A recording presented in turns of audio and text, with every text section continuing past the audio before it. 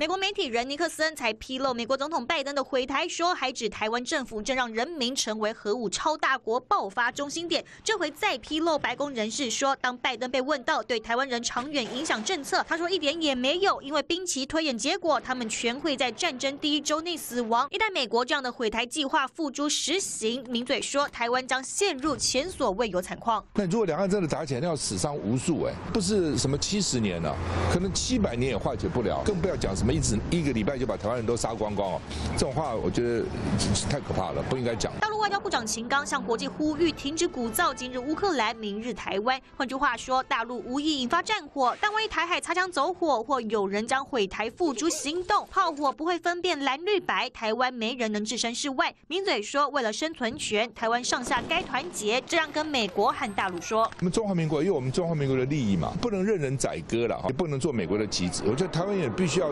勇敢的跟美国说，台湾是面临生存的威胁，但是我们台湾有自己的主张，我们台湾绝对不能变成战场。他勇敢的讲嘛，你赵春山教授，他跟中国大陆接触，他们任何一个层级的。大陆的领导人都都觉得说很奇怪啊，我们并没有要打台湾啊，人都要有生存权啊，哦，这是一个最卑微的要求。台海问题媒体高度关注，但蔡政府现在要修全民防卫动员法，动员准备阶段就能调查媒体统计编组，动员实施阶段更可直接管制媒体。换句话说，不管总统宣布全国动员或局部动员，政府马上就能管制媒体。什么是假消息，还不知谁说了算。动员之名啊。来行戒严之实吗？还借国防之名啊，行这个媒体跟全民管制之实。原来他不知道搞个什么数位中介法，后来被大家反对，不敢弄了。我觉得借尸还魂了，借着这个动员法呢，要管制媒体。这个党外运动呢，就是在抗议国民党实施戒严嘛，哪有人这样搞啊？那你这样不是回到蒋介石时代？你必须把所有的来源都告诉政府。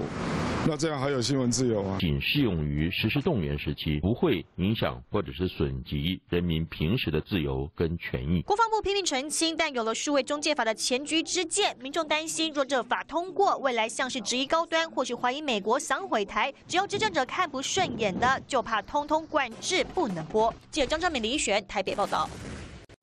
我是林佩杰，从生活消费、政治议题到国内外的最新话题，透过镜头传递新知。我在中视带您掌握大小事，更多资讯，请您锁定中视的 YouTube 频道。同时要记得帮我们按赞、订阅、分享，并且开启小铃铛。